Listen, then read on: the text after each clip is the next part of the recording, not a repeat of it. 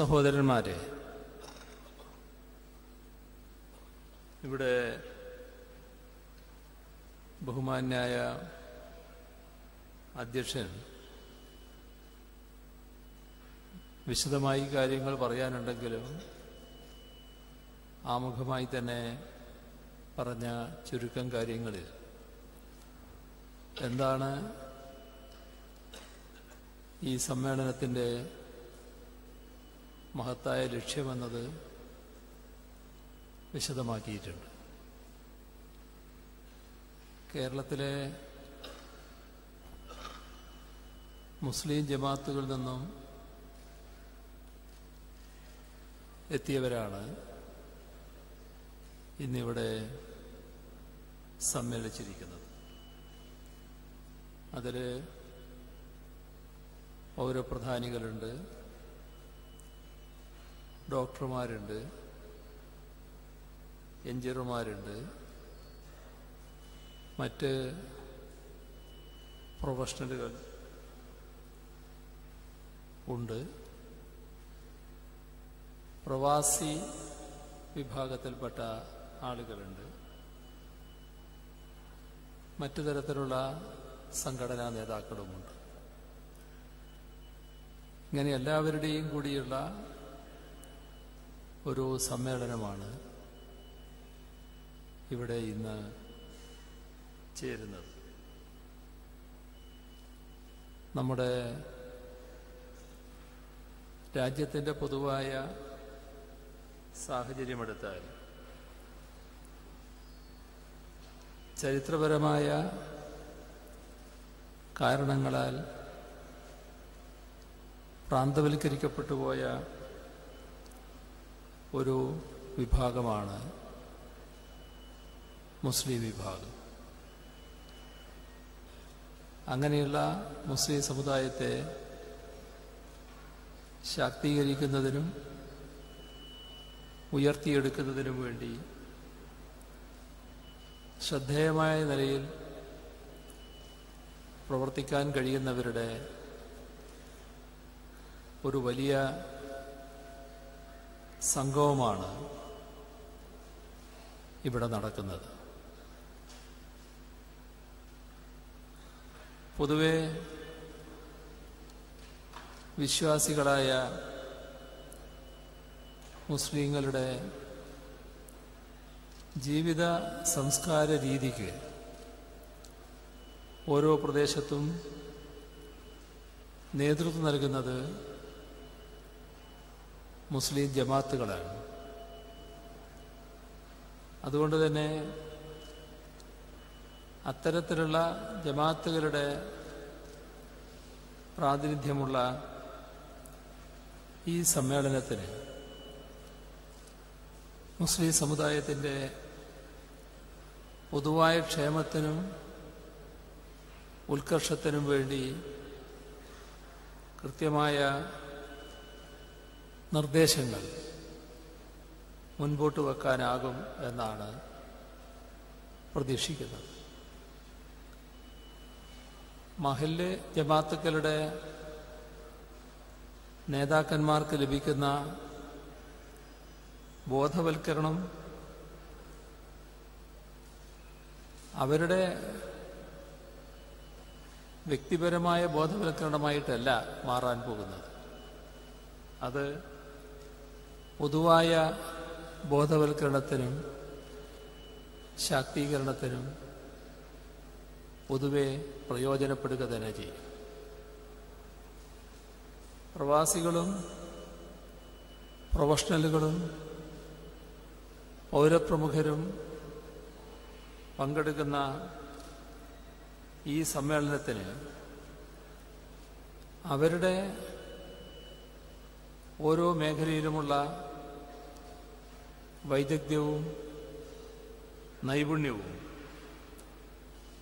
എങ്ങനെ സമുദായത്തിനാകെ പ്രയോജനപ്പെടുത്താം ഇത് സംബന്ധിച്ച് കൂട്ടായി ചിന്തിക്കാനും വഴികൾ കണ്ടെത്താനും ഈ സമ്മേളനം ഉപകരിക്കുമെന്നാണ് പ്രതീക്ഷിക്കാവുന്നത്. കേരള മുസ്ലിം ജമാഅത്ത് പ്രസിഡന്റ് ബഹുമാനായ കാന്തപുരം എ പി അബൂബക്കർ അബൂബക്കർ മുസ്ലിയാരുടെ മുൻകൈയിലും നേതൃത്വത്തിലുമാണ് ഈ സമ്മേളനം നടക്കുന്നത്. ഇത് മുസ്ലിം സമുദായത്തിന്റെ സാമൂഹ്യ ജീവിതത്തിന് പൊതുവിലും ഇവിടെ അദ്ദേഹം പ്രസ്താവിച്ചതുപോലെ ആരോഗ്യ വിദ്യാഭ്യാസ തൊഴിൽ മേഖലകൾക്ക് പ്രത്യേകിച്ചും വലിയ മുതൽക്കൂട്ടാകും എന്ന് കരുതുകയാണ്. സമൂഹത്തിന്റെ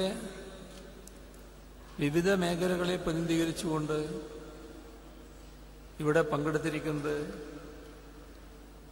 ഏഴായിരത്തി അഞ്ഞൂറിലധികം പ്രതിനിധികളാണ്. അവർ നേരത്തെ പറഞ്ഞതിനുതകുന്ന രീതിയിലുള്ള ആശയങ്ങൾ ഇവിടെ പങ്കുവെക്കണം. അതിന്റെ ഭാഗമായുള്ള ചർച്ചകൾ ഇവിടെ നടത്താനാകണം എന്നതാണ് ഈ ഘട്ടത്തിൽ ഓർമ്മിപ്പിക്കാനുള്ളത്. ഇത്ര വിശാലമായ അതേസമയം പ്രാതിനിധ്യ സ്വഭാവമുള്ള ഒരു ഉമറ സമ്മേളനം കേരളത്തിൽ ആദ്യമായാണ് നടക്കുന്നത് എന്നാണ് മനസ്സിലാക്കുന്നത്. അതുകൊണ്ട് തന്നെ വർത്തമാന സാഹചര്യങ്ങളെ സ്വയം വിലയിരുത്താനും അതിൽ എന്തെങ്കിലും കുറവുകളുണ്ടെങ്കിൽ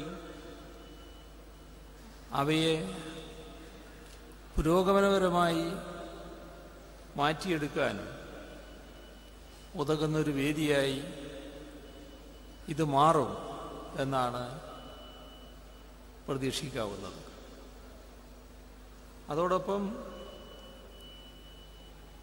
ഇനിയുള്ള കാലത്തിന് വേണ്ട ദിശാബോധം സമൂഹത്തിന്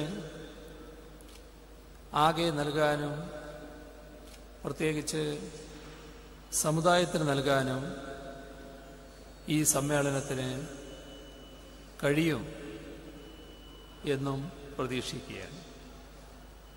കാരണം വിവിധ മേഖലകളിൽ പ്രാഗൽഭ്യമുള്ളവരാണ് ഇവിടെ സമ്മേളിച്ചിരിക്കുന്നത്. അതുകൊണ്ട് കൃത്യമായ ദിശാബോധത്തോടെ ഭാവി പരിപാടികൾ ആവിഷ്കരിക്കാൻ ഈ സമ്മേളനത്തിന് കഴിയും എന്ന് തന്നെയാണ് വിശ്വസിക്കാനാകുന്നത്. നാം ജീവിക്കുന്ന ലോകത്ത് ഇന്ന് നടക്കുന്ന സംഭവങ്ങൾ നമ്മെ അത്യന്തം ഉത്കണ്ഠപ്പെടുത്തുന്നതാണ്. ലോകത്തിന്റെ പലയിടങ്ങളിലും വെറുപ്പും അക്രമവും ഇക്കാലത്ത് പ്രചരിപ്പിക്കപ്പെടുകയാണ്. അത്തരം വെറുപ്പ് പ്രചരിപ്പിക്കുന്നതിനെയും അക്രമങ്ങൾ വളർത്തുന്നതിനെയും സാധൂകരിക്കാൻ വേണ്ടി ചിലര്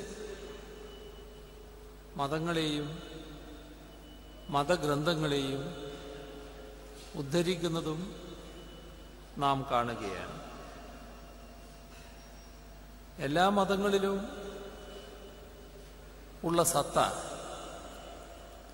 അതല്ലെങ്കിൽ ഏതൊരു മതവും സമൂഹത്തിനു മുന്നിൽ നൽകുന്ന സന്ദേശം പരസ്പര സ്നേഹത്തിന്റെയും സഹവർത്തിത്വത്തിന്റെയും സമാധാനത്തിന്റെയും സന്ദേശമാണ്.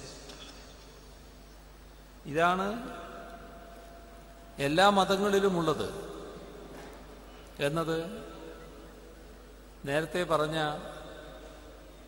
വെറുപ്പും അക്രമവും വളർത്താൻ ശ്രമിക്കുന്നവർ മറച്ചു വെക്കുകയാണ്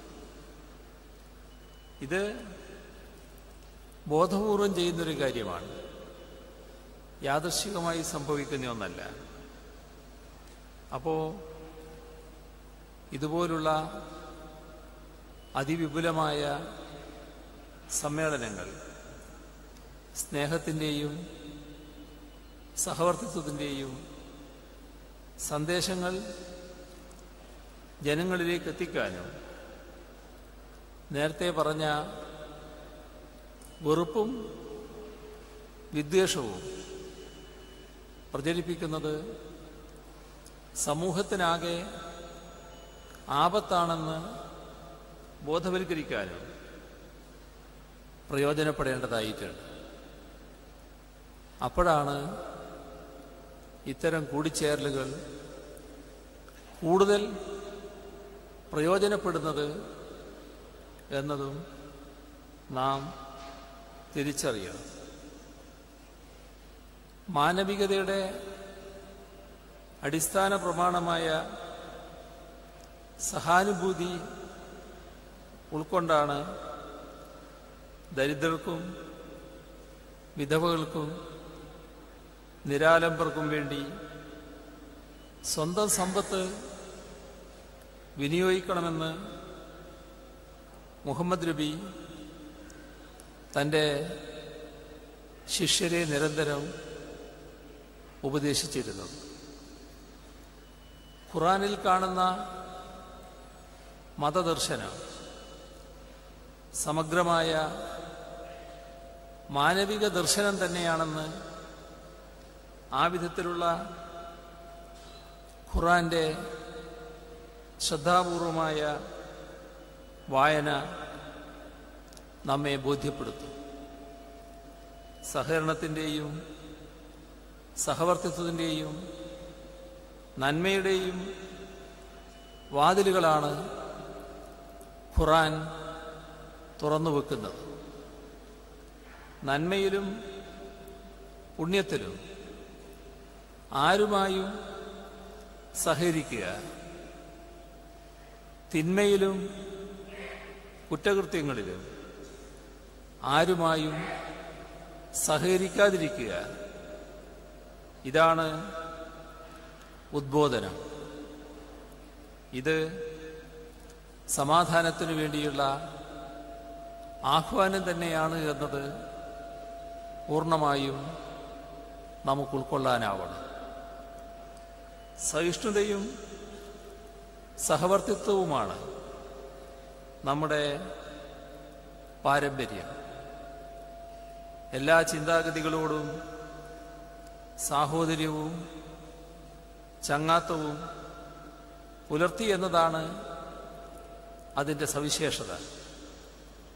ലോകത്തിന്റെ പല ഭാഗത്തുമുണ്ടായിരുന്ന ഭാഷകളെയും സംസ്കാരങ്ങളെയും അത് ഉൾക്കൊണ്ടു അങ്ങനെയാണ് നാനാത്വത്തിൽ ഏകത്വമെന്ന കാഴ്ചപ്പാട് രൂപപ്പെട്ടു വന്നത്.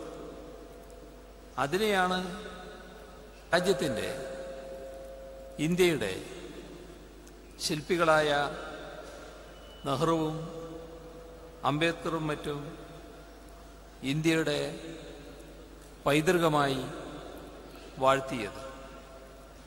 ഈ വിശാല ചിന്തയുടെ പ്രചരണത്തിനും ശാക്തീകരണത്തിനും കൂടി ഇത്തരം സമ്മേളനങ്ങൾ ഉപകരിക്കണം എന്നാണ് അഭ്യർത്ഥിക്കാനുള്ളത്. ഇത്തരം ചിന്താഗതികളെ അട്ടിമറിക്കാനുള്ള ബോധപൂർവമായ ശ്രമം ഒരു ഭാഗത്ത് നടക്കുന്നത് ഗൗരവമായി കാണാൻ നമുക്കാവണം. വർഗീയതയും വിദ്വേഷവും രാജ്യത്ത് പ്രചരിപ്പിക്കാൻ മതത്തെ ചില ശക്തികൾ ഉപയോഗിക്കുന്നത് നാം കാണുന്നു.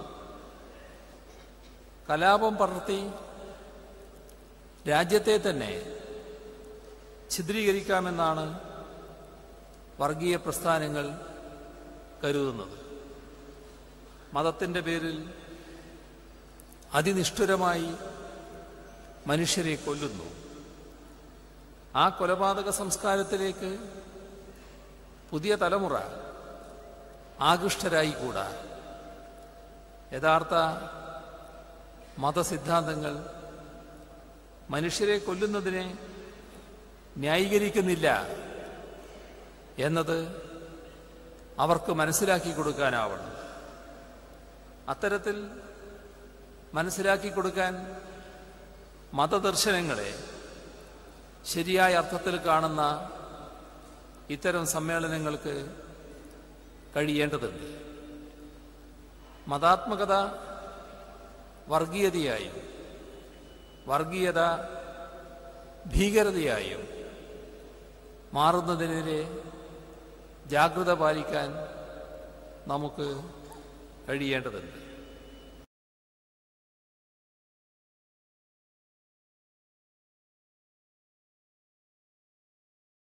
കൊണ്ട് അവർ എന്തിനൊക്കെ വേണ്ടിയാണോ നിലക്കൊണ്ടിരുന്നത് അവയെല്ലാം തകർക്കുകയും നിഷേധിക്കുകയും തമസ്കരിക്കുകയും ചെയ്യുന്ന സമീപനവും നടപടികളുമാണ് ദൗർഭാഗ്യവശാൽ ഇന്ന് നമ്മുടെ രാജ്യം ഭരിക്കുന്നവർ സ്വീകരിച്ചു വരുന്നത് അതുകൊണ്ട് തന്നെ ഭക്ഷണം വസ്ത്രം ചരിത്രം ഭാഷ സംസ്കാരം എന്നുവേണ്ട എന്തും ഇന്ന് രാഷ്ട്രീയ വിഷയങ്ങളായി മാറുകയാണ്.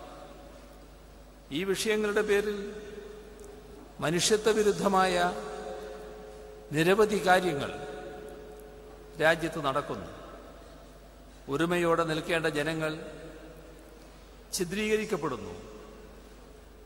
ഇതിന്റെ ഭാഗമായി തന്നെ ന്യൂനപക്ഷങ്ങൾ വേട്ടയാടപ്പെടുന്നു. മനുഷ്യത്വം നശിച്ചാൽ എല്ലാം നശിച്ചു.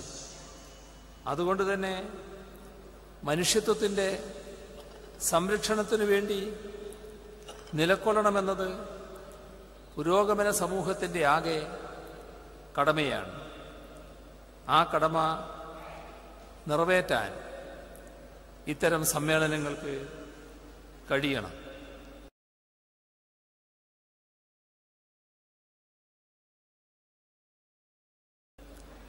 ജനങ്ങളുടെ ഇടയിൽ സ്പർദ്ധ വളർത്തുകയും ഉണ്ട് എന്നതാണ് വസ്തുത.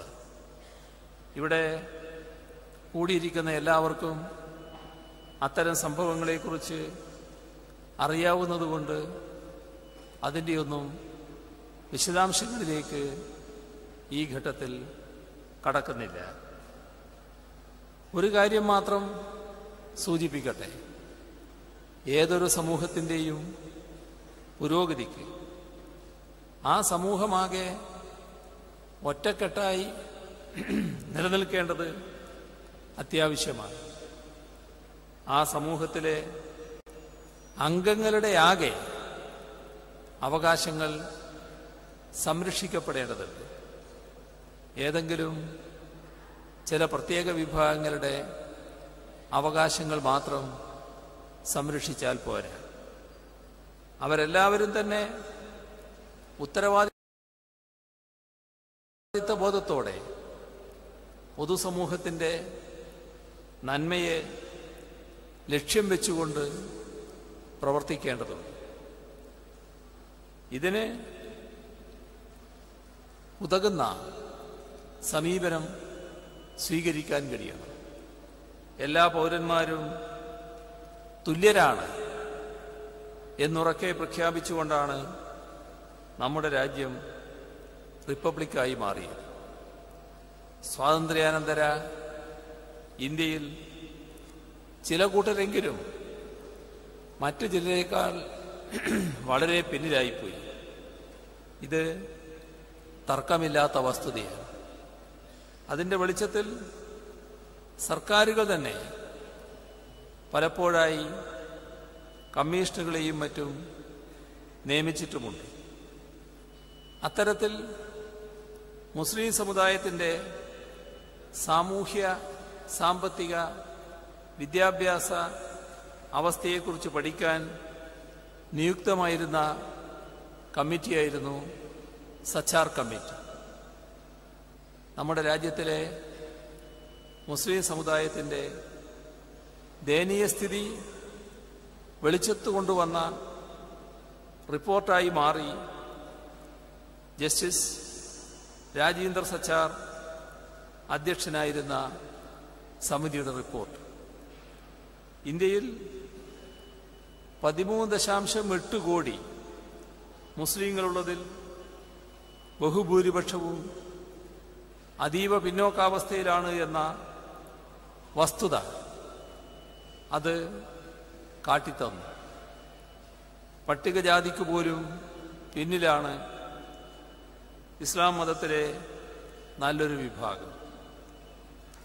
പ്രതിമാസം അഞ്ഞൂറ് രൂപ പോലും വരുമാനമില്ലാത്ത മുസ്ലിം കുടുംബങ്ങൾ നമ്മുടെ രാജ്യത്ത് പതിനായിരക്കണക്കിനുണ്ട്.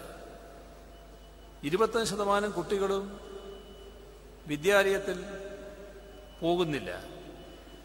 ഇടത്തരം കുടുംബങ്ങളിലെ കുട്ടികൾക്കിടയിൽ കൊഴിഞ്ഞുപോക്ക് വ്യാപകം.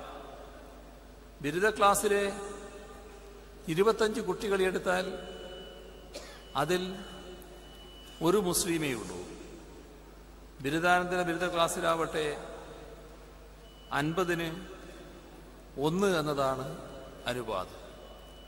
ഇതെല്ലാം സച്ചാർ കമ്മീഷൻ റിപ്പോർട്ട് പുറത്തു കൊണ്ടുവന്നു. വിദ്യാഭ്യാസം തൊഴിൽ വരുമാനം സുരക്ഷ ഭക്ഷ്യലഭ്യത ഇങ്ങനെയുള്ള കാര്യങ്ങളിലൊക്കെ ഇതര വിഭാഗങ്ങളെ അപേക്ഷിച്ച് മുസ്ലിങ്ങൾ വളരെ പിന്നോക്കം നിൽക്കുന്നു. മറ്റ് ന്യൂനപക്ഷ വിഭാഗങ്ങൾക്ക് ലഭ്യമാകുന്ന ബാങ്ക് വായ്പയുടെ തുച്ഛമായ ഓഹരി മാത്രമേ മുസ്ലിങ്ങൾക്ക് ലഭിക്കുന്നുള്ളൂ. ഐ എ എസിൽ മൂന്ന് ശതമാനം. ഐ എഫ് എസിൽ ഒന്ന് ദശാംശം എട്ട് ശതമാനം. ഐ പി എസിൽ നാല് ശതമാനം. റെയിൽവേയിൽ നാല് ശതമാനം. അതിൽ തന്നെ തൊണ്ണൂറ്റൊൻപത് ശതമാനവും താഴ്ന്ന തലങ്ങളിൽ. എത്ര ദയനീയമായ പിന്നോക്കാവസ്ഥയാണ് എന്ന് ഓർക്കേണ്ടതുണ്ട്. ഇതൊക്കെയാണ് ജസ്റ്റിസ് സച്ചാർ ചൂണ്ടിക്കാട്ടിയത്. എന്നാൽ ചൂണ്ടിക്കാട്ടിയ പ്രശ്നങ്ങൾ ദേശീയ തലത്തിലുള്ള പ്രശ്നങ്ങളാണ്. അത് പരിഹരിക്കുന്നതിന് ദേശീയ തലത്തിലാണ് നടപടി വേണ്ടത്. പക്ഷേ ദേശീയ തലത്തിൽ നടപടി ഉണ്ടായോ? ഈ പിന്നോക്കാവസ്ഥ പരിഹരിക്കാതെ മുഖ്യധാരയിലേക്ക് വരൂ എന്ന് പറഞ്ഞുകൊണ്ടിരുന്നാൽ മാത്രം മതിയോ? നാനാത്വത്തിൽ ഏകത്വം എന്ന കാഴ്ചപ്പാടിനെതിരായി വിഭാഗീയതക്കും വിഘടന ശ്രമങ്ങൾക്കും വിത്തുപാകുന്നവർ ഇത്തരം അവസ്ഥകൾ മുതലെടുക്കുമെന്നത് തിരിച്ചറിയണം. അതുണ്ടാകാതെ ഉണ്ടാകാതിരിക്കണമെങ്കിൽ എല്ലാ വിഭാഗങ്ങളെയും ഒരുപോലെ ഉൾക്കൊള്ളുന്നതും സമഗ്രവും സന്തുലിതവുമായ ഒരു വികസന നയം ഉണ്ടാവണം. നിർഭാഗ്യവശാൽ നമ്മുടെ രാജ്യത്ത് ഇന്ത്യയിൽ അതാണ് ഇല്ലാത്തത്. ഒരു വശത്ത് സമഗ്രമായ അത്തരമൊരു നയത്തിന്റെ അഭാവം മറുവശത്ത് സംസ്ഥാന സർക്കാരുകളുടെ അധികാര അവകാശങ്ങളെ ധ്വംസിക്കുന്നതും ഫെഡറലിസത്തിന്റെ സത്തയെ ഇല്ലായ്മ ചെയ്യുന്നതും സംസ്ഥാനങ്ങളെ കൊണ്ട് ആഗോളവൽക്കരണ നയങ്ങൾ നടപ്പാക്കുന്നതുമായ കേന്ദ്ര നയങ്ങൾ ഇവ സംസ്ഥാനത്തിന് അതിന്റെ പരിമിതിക്കുള്ളിൽ നിന്നുകൊണ്ട് ചെയ്യാവുന്ന കാര്യങ്ങൾക്ക് പോലും തടയിടുന്നു എന്നതാണ് വസ്തുത. സംസ്ഥാനത്തിന്റെ വരുമാനം ചുരുങ്ങിയാൽ മുൻഗണനാക്രമങ്ങൾ കേന്ദ്ര കൽപ്പന പ്രകാരം തകിടം മറിഞ്ഞാൽ എല്ലാ വിഭാഗങ്ങളെയും ഉൾക്കൊണ്ടുകൊണ്ട് മുന്നോട്ടു പോകുന്ന കാഴ്ചപ്പാടിന് അതിന്റേതായ കുറവുകളുണ്ടാവും ആ കുറവ് ഉണ്ടാകാതെ നോക്കാനാണ് കേരളം ബദൽ നയങ്ങൾ ഉയർത്തി മുന്നോട്ടു പോകാൻ ശ്രമിക്കുന്നത് ബദൽ നയങ്ങൾ ഇപ്പോൾ ആരംഭിച്ചതല്ല എന്നെല്ലാവർക്കും അറിയാം. എല്ലാ കാലത്തും കേരളത്തിൽ അധികാരത്തിൽ വന്ന ഇടതുപക്ഷ സർക്കാരുകൾ ബദൽ നയങ്ങൾ ആവിഷ്കരിക്കുകയാണ് ചെയ്തത്. പ്രത്യേകിച്ച് ന്യൂനപക്ഷ വിഭാഗങ്ങളുടെ കാര്യത്തിൽ. പഴയ കാര്യങ്ങളാകെ എടുത്തു പറയാൻ ഈ അവസരം ഞാൻ ഉപയോഗിക്കുന്നില്ല. എന്നാൽ ആയിരത്തി തൊള്ളായിരത്തി അൻപത്തിയേഴിലെ ആദ്യത്തെ കേരള സംസ്ഥാനം രൂപം കൊണ്ടതിനു ശേഷം ആദ്യം രൂപീകൃതമായ ഇ എം എസ് ഗവൺമെന്റ് തന്നെ ന്യൂനപക്ഷങ്ങൾക്ക് പ്രത്യേകമായി നിഷേധിച്ചിരുന്ന അവകാശങ്ങൾ പുനഃസ്ഥാപിക്കാനായിരുന്നു ശ്രദ്ധിച്ചത് എന്ന് നാം ഓർക്കേണ്ടതുണ്ട്. അത് ആരാധനാലയങ്ങളിൽ പോലീസ് കടക്കുന്ന പ്രശ്നമായാലും പള്ളി പണിയുന്ന പ്രശ്നമായാലും കൂടുതൽ വിദ്യാലയങ്ങൾ തുറക്കുന്ന പ്രശ്നങ്ങളായാലും എല്ലാറ്റിലും ആ ഘട്ടത്തിൽ തന്നെ ഇടപെടലുണ്ടായി. ചില കാര്യങ്ങൾ വലിയ തോതിൽ ആക്ഷേപിക്കാൻ ചിലരെ ഉപകരണമാക്കിയിരുന്നു എന്നതും നാം ഓർക്കേണ്ടതാണ്. മലപ്പുറം ജില്ല രൂപീകരിച്ചപ്പോൾ അതിന് പിന്നീട് ഇ എം എസ് കേട്ട വഴി എത്രയായിരുന്നു എന്നുള്ളത് എല്ലാവർക്കും ഓർമ്മയുള്ള കാര്യമാണ്. അതുപോലെ തന്നെ കോഴിക്കോട് സർവകലാശാല സ്ഥാപിച്ചപ്പോഴും ചിലരെ അതിനോടും വിയോജിപ്പ് രേഖപ്പെടുത്തിയിരുന്നു. അറബി അധ്യാപകരുടെ ആനുകൂല്യം വർദ്ധിപ്പിക്കുകയും തൊഴിൽ സംരക്ഷണം ഉറപ്പാക്കുകയും ചെയ്തപ്പോഴും ചിലർക്ക് അതിനോട് നീരസമുണ്ടായിരുന്നു. ഇവിടെ ഹജ്ജ് ഹൗസ് സ്ഥാപിച്ചത് അതേപോലെ അലിഗഡ് സർവകലാശാലയുടെ ഓഫ് ക്യാമ്പസ് സ്ഥാപിച്ചത് അറബി ഉറുദു ഭാഷാ പഠനത്തിനുള്ള സൗകര്യം സൃഷ്ടിച്ചത്. ഇത്തരം കാര്യങ്ങളിലെല്ലാം ഇടതുപക്ഷ സർക്കാരുകളാണ് മുന്നിട്ട് നിന്നത് എന്നത് നമുക്ക് കാണാൻ കഴിയും. ഇവിടെ സച്ചാർ കമ്മിറ്റിയുടെ റിപ്പോർട്ടാണ് നാം നേരത്തെ പരാമർശിച്ചത്. സച്ചാറിന്റെ ഇത് മാത്രമല്ല ആയിരത്തി തൊള്ളായിരത്തി എൺപത്തി മൂന്നിലെ ഗോപാൽ സിംഗ് കമ്മിറ്റി റിപ്പോർട്ട്. ആയിരത്തി തൊള്ളായിരത്തി തൊണ്ണൂറ്റിയാറിലെ ആസൂത്രണ കമ്മീഷന്റെ സബ് ഗ്രൂപ്പ് തയ്യാറാക്കിയ റിപ്പോർട്ട്. ഇതെല്ലാം അലമാരയിൽ പൊടിപിടിച്ച് കടന്നിട്ടേയുള്ളൂ. അതിന്മേലൊന്നും ഒരു നടപടിയും രാജ്യത്ത് എവിടെയും എടുത്തില്ല എന്നാണ് വസ്തുത. എന്നാൽ കേരളത്തിൽ എൽ ഡി എഫ് സർക്കാർ പാലോളി കമ്മിറ്റിയെ വെച്ച് ഇതുമായി ബന്ധപ്പെട്ടുള്ള പഠനം നടത്താനും അടിയന്തര നടപടികളിലേക്ക് നീങ്ങാനും തീരുമാനിച്ചു. സമയബന്ധിതമായി തന്നെ ആ കമ്മിറ്റി റിപ്പോർട്ട് നൽകുകയും അതിന്റെ ഭാഗമായി ന്യൂനപക്ഷ ക്ഷേമ നടപടികൾ മുന്നോട്ട് കൊണ്ടുപോവുകയും ചെയ്തു. ഇതെല്ലാം ചെയ്തത് ന്യൂനപക്ഷ പ്രീണനമാണെന്ന് ആക്ഷേപിക്കുന്നവരുണ്ട്. എന്നാൽ അതൊന്നും ന്യൂനപക്ഷ പ്രീണനത്തിൽപ്പെടുന്നതല്ല.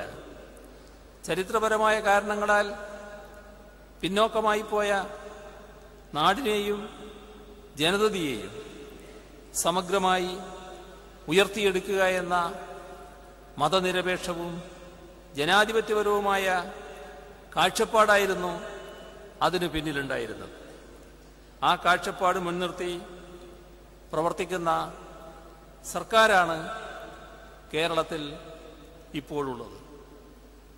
മത മതത്തിന്റെ അടിസ്ഥാനത്തിൽ ജനങ്ങളെ ഭിന്നിപ്പിക്കുന്നതിനെ ചെറുക്കേണ്ടത് മതത്തിന്റെ അടിസ്ഥാനത്തിലോ വർഗീയതയുടെ അടിസ്ഥാനത്തിലോ വേർതിരിഞ്ഞു നിന്നുകൊണ്ടല്ല.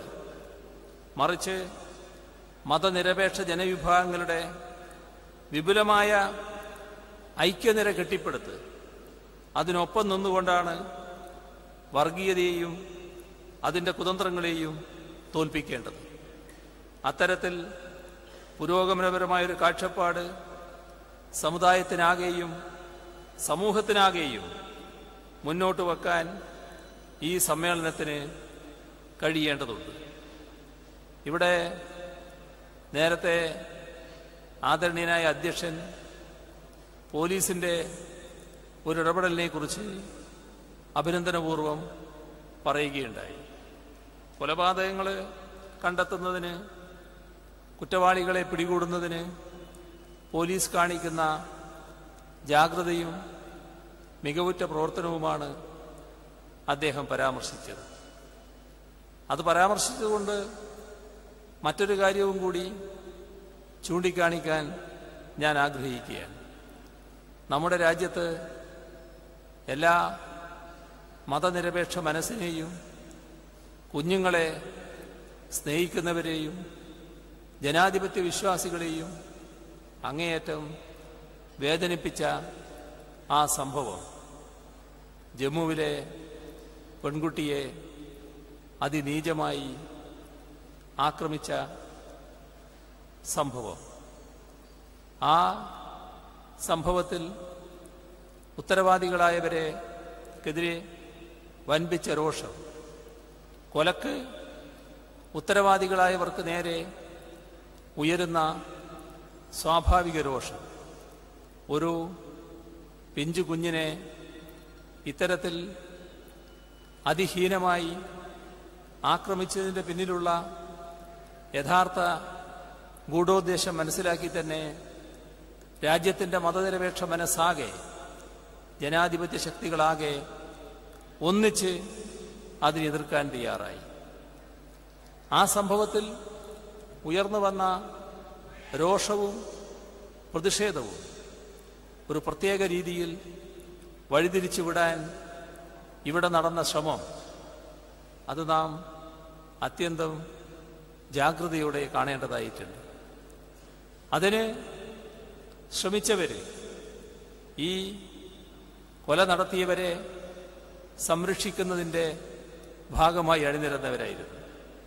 നാം കണ്ടു ആ നീചമായ സംഭവത്തെ ന്യായീകരിക്കുന്ന പ്രധാനികളെ ആ സംസ്ഥാനത്ത് മന്ത്രിമാരായ മന്ത്രിമാരായവർ ജനപ്രതിനിധികളായവർ മാത്രമല്ല കോടതിയിൽ ഹാജരാകുന്നതിന് നിയമബിരുദം സമ്പാദിച്ച ആ കോടതിയിലെ വക്കീലന്മാർ അവരുടെ സനതെടുക്കുമ്പോൾ അവർ നടക്കുന്ന പ്രതിജ്ഞ കൂടി മറന്നുകൊണ്ടുള്ള ഹീനമായ നിലപാട് സ്വീകരിച്ചു നാം കണ്ടു.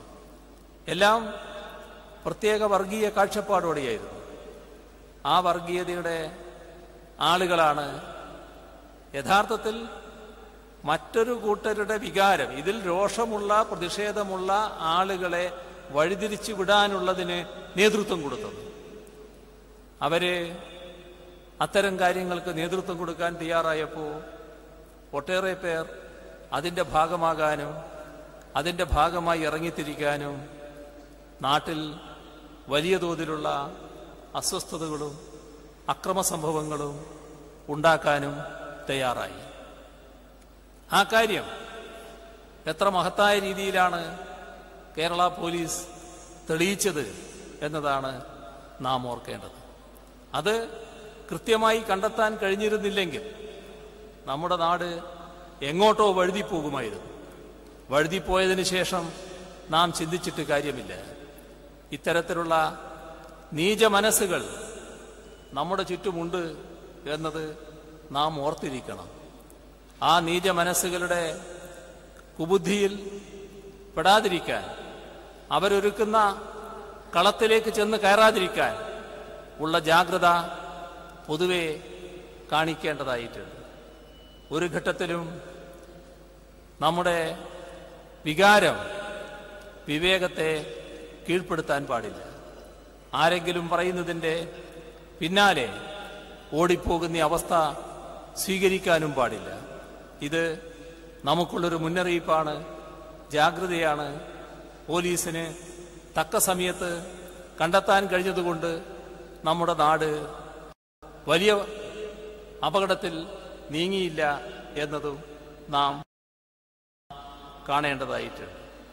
ഞാൻ മറ്റു കൂടുതൽ കാര്യങ്ങളിലേക്ക് കടക്കുന്നില്ല ഇന്ത്യയിലെ വർഗീയ ശക്തികൾക്കെതിരെയുള്ള ഏറ്റവും വലിയ വെല്ലുവിളിയാണ് ഇടതുപക്ഷമെന്നത് എല്ലാവർക്കും അറിയാം. ജീവിതത്തിലെ സമസ്ത മേഖലകളിലും സ്വതന്ത്രമായി അഭിപ്രായം പ്രകടിപ്പിക്കാൻ കഴിയുന്ന നാടാണ് നമ്മുടെ ഈ കേരളം. ഇതിൽ നമുക്ക് എപ്പോഴും അഭിമാനിക്കാം. അതിന് ഇവിടുത്തെ ഇടതുപക്ഷത്തിന്റെ പ്രസക്തി വലുതാണ് എന്നതും നാം മറക്കരുത്. എന്നാൽ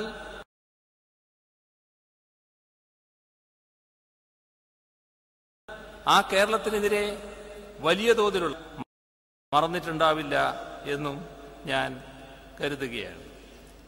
ഇതിലെല്ലാം ജാഗ്രത പാലിച്ചുകൊണ്ട് നമ്മുടെ നാടിന്റെ പ്രത്യേകത സംരക്ഷിക്കാൻ നമുക്ക് കഴിയേണ്ടതായിട്ടുണ്ട്.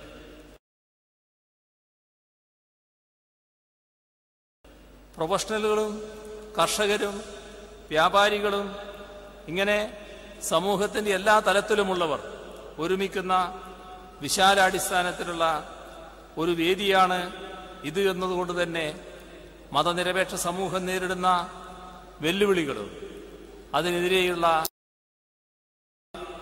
ചെറുത്തുനിൽപ്പും അതിന്റെ ഗൗരവത്തോടെ നിങ്ങൾ ചർച്ച ചെയ്യണം എന്നാണ് അഭ്യർത്ഥിക്കാനുള്ളത്. ഈ കൂട്ടായ്മയിലെ